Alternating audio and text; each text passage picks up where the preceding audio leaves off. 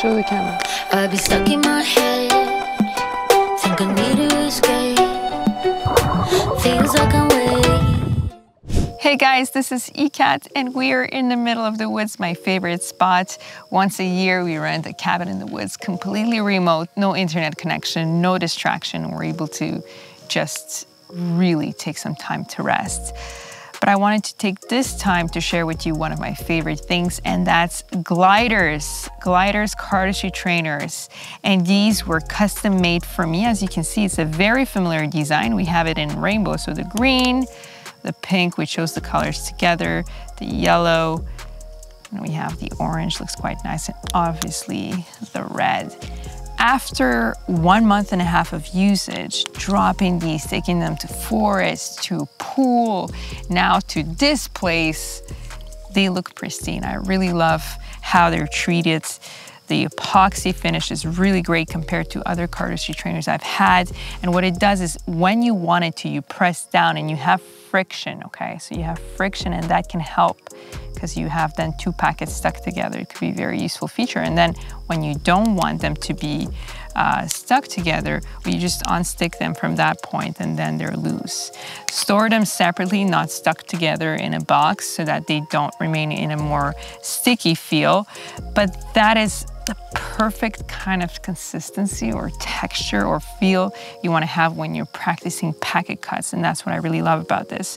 And you get five packets, which I think is a perfect middle in order to be able to perform a lot of the cuts, 200 cuts that you really like to practice. I want to share with you two cuts that I really, really love performing with these gliders, cardistry trainers. And the first one is gonna be Blanco by The Cuso. You can check out his channel on YouTube. He's not so active anymore, but that tutorial is really nice. False cut, really beautiful feel to it.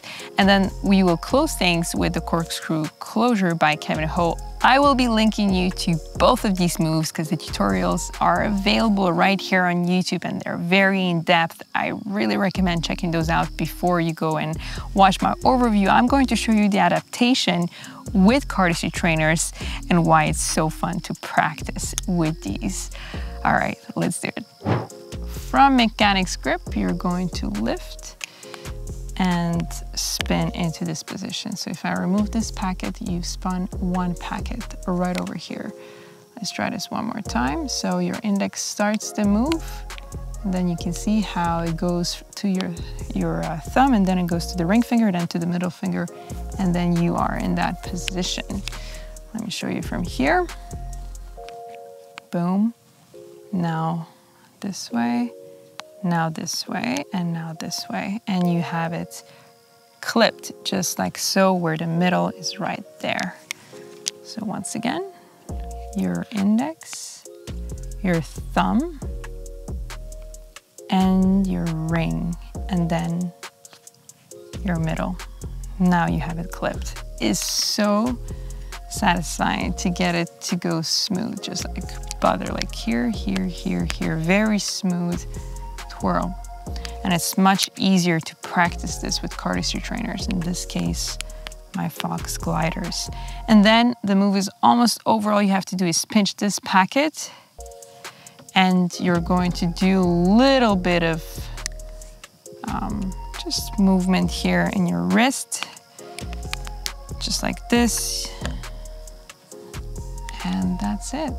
After you finish this move, you will realize that you're in perfect position here when you square things up to cut and move into the corkscrew closer, which is so fun to practice with the gliders. Here's the overview for the corkscrew closer. You're going to take two or three.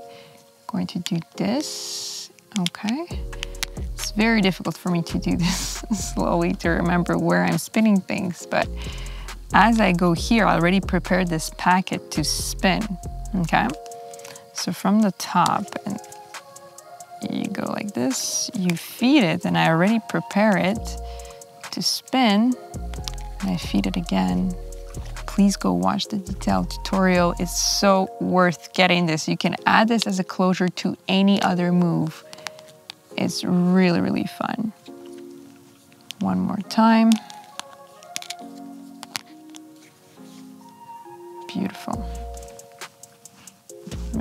From here.